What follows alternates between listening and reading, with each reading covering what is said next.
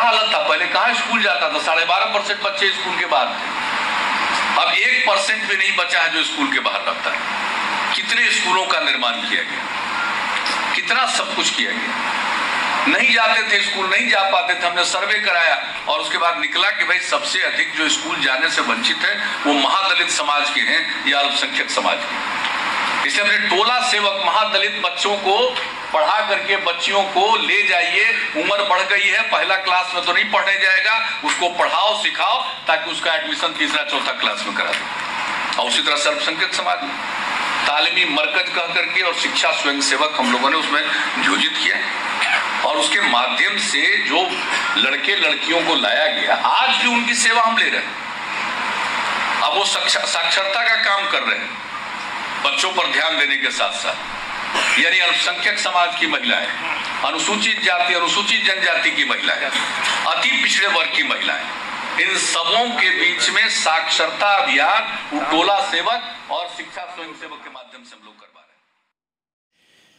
Hello दोस्तों, आप सभी का बहुत बहुत स्वागत है। अभी के इस वीडियो में, अभी के इस वीडियो में हम लोग बात कर रहे हैं बिहार के मुख्यमंत्री नीतीश कुमार का और नीतीश कुमार के द्वारा शिक्षकों के लिए किए गए बड़े ऐलान की। तो जैसा कि अभी आप लोग एक छोटा सा अंश सुन रहे थे माननीय मुख्यमंत्री जी के भाषण का, जिसमें उनके द्वारा शिक्षकों को शिक्षकों का तथा साथ ही साथ बिहार में शिक्षा व्यवस्था पर काफ़ी अच्छे वक्तव्य को बताया जा रहा था, जिसमें बिहार में जो शिक्षा व्यवस्था है उससे संबंधित और साथ ही साथ टोला सेवक तालीमी मरकज के क्रियाकलाप को भी उनके द्वारा याद किया जा रहा था और बताया जा रहा था कि किस तरह से जब ये सत्ता में आए थे तो किस तरह से बिहार में ज़्यादा पढ़े लिखे बच्चे नहीं होते थे और सबसे ज़्यादा अगर बात करिएगा तो अनामांकित बच्चे जो थे वो दो समाज से आते थे,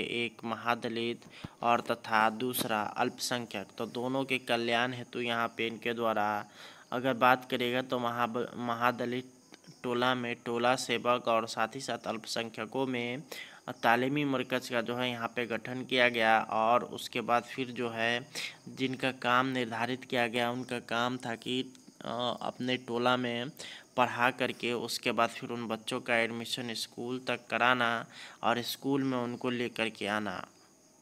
साथ ही साथ बिहार के शिक्षकों के बारे में भी इनके द्वारा कुछ चीज़ें बताया गया, जिसमें इनके द्वारा स्पष्ट तौर पर कहा गया कि इन शिक्षकों के द्वारा बच्चों को तालीम दी गई और उनको इस योग्य बनाया गया कि उन वो जो है अब जो है विद्यालय में अगर बात करेगा तो इनके द्वारा दावा किया गया है कि बिहार में कोई भी बच्चा अब जो है अनामांकित नहीं है, बल्कि कहीं ना कहीं किसी न किसी विद्यालय में या फिर जो है टोला सेवक तालीमी मरकज़ के यहाँ वो बच्चे पढ़ रहे हैं और उसके बाद अब जो है धीरे धीरे बिहार में शिक्षा व्यवस्था बदलता हुआ दिखाई दे रहा है।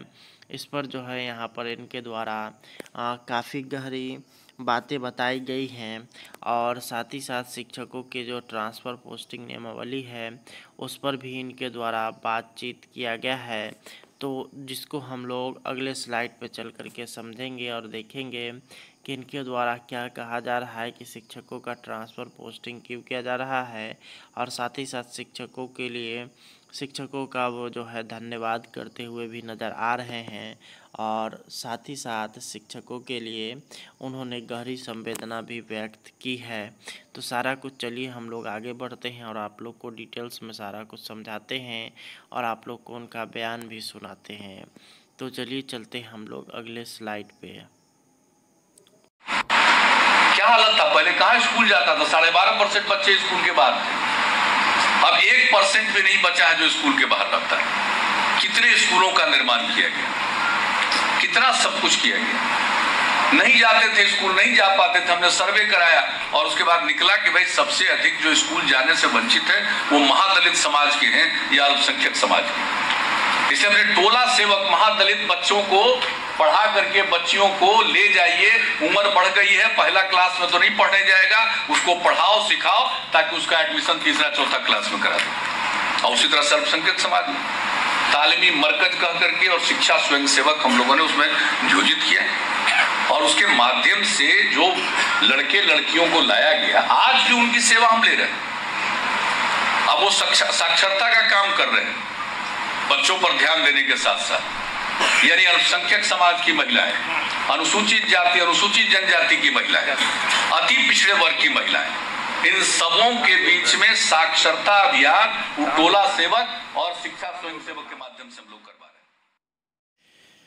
हैं। हेलो दोस्तों, आप सभी का बहुत बहुत स्वागत है। अभी के इस वीडियो में, अभी के इस वीडियो में हम लोग बात कर रहे हैं बिहार के मुख्यमंत्री नीतीश कुमार का और नीतीश कुमार के द्वारा शिक्षकों के लिए किए गए बड़े ऐलान की। तो जैसा कि अभी आप लोग एक छोटा सा अंश सुन रहे थे माननीय मुख्यमंत्री जी के भाषण का, जिसमें उनके द्वारा शिक्षकों को, शिक्षकों का तथा साथ ही साथ बिहार में शिक्षा व्यवस्था पर काफ़ी अच्छे वक्तव्य को बताया जा रहा था, जिसमें बिहार में जो शिक्षा व्यवस्था है उससे संबंधित और साथ ही साथ टोला सेवक तालीमी मरकज के क्रियाकलाप को भी उनके द्वारा याद किया जा रहा था और बताया जा रहा था कि किस तरह से जब ये सत्ता में आए थे तो किस तरह से बिहार में ज़्यादा पढ़े लिखे बच्चे नहीं होते थे और सबसे ज़्यादा अगर बात करिएगा तो अनामांकित बच्चे जो थे वो दो समाज से आते थे,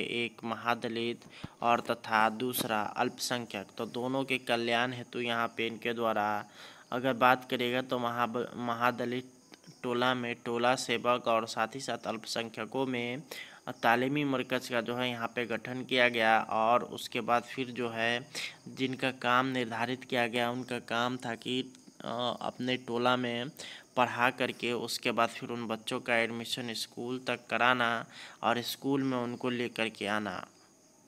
साथ ही साथ बिहार के शिक्षकों के बारे में भी इनके द्वारा कुछ चीज़ें बताया गया, जिसमें इनके द्वारा स्पष्ट तौर पर कहा गया कि इन शिक्षकों के द्वारा बच्चों को तालीम दी गई और उनको इस योग्य बनाया गया कि उन वो जो है अ, अब जो है विद्यालय में अगर बात करेगा तो इनके द्वारा दावा किया गया है कि बिहार में कोई भी बच्चा अब जो है अनामांकित नहीं है बल्कि कहीं ना कहीं किसी न किसी विद्यालय में या फिर जो है टोला सेवक तालीमी मरकज़ के यहाँ वो बच्चे पढ़ रहे हैं और उसके बाद अब जो है धीरे धीरे बिहार में शिक्षा व्यवस्था बदलता हुआ दिखाई दे रहा है।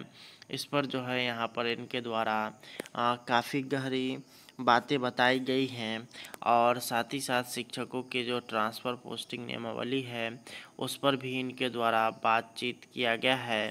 तो जिसको हम लोग अगले स्लाइड पर चल करके समझेंगे और देखेंगे कि इनके द्वारा क्या कहा जा रहा है कि शिक्षकों का ट्रांसफ़र पोस्टिंग क्यों किया जा रहा है और साथ ही साथ शिक्षकों के लिए, शिक्षकों का वो जो है धन्यवाद करते हुए भी नज़र आ रहे हैं और साथ ही साथ शिक्षकों के लिए उन्होंने गहरी संवेदना भी व्यक्त की है। तो सारा कुछ चलिए, हम लोग आगे बढ़ते हैं और आप लोग को डिटेल्स में सारा कुछ समझाते हैं और आप लोग को उनका बयान भी सुनाते हैं। तो चलिए चलते हैं हम लोग अगले स्लाइड पे।